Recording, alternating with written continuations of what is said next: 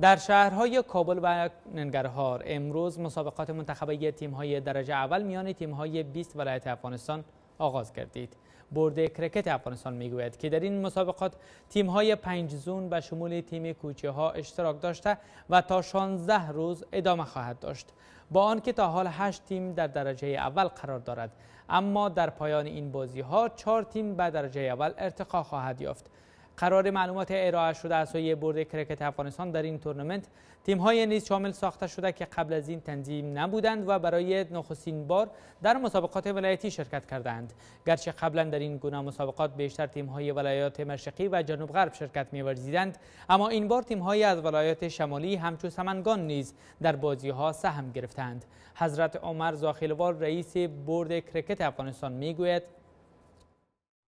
کرکټ لوبه په افغانستان کې یوازې یو لوبه نه ده بلکې یوازینۍ لوبه ده چې د افغانستان د ګوټ ګوټ نه خلک ډیر سخت سره رايوځای کوي ډیره سخته علاقه مندي خلک لري ډیر سخته خوښي راوړي دوی کامیابی دا په افغانستان کې د سولې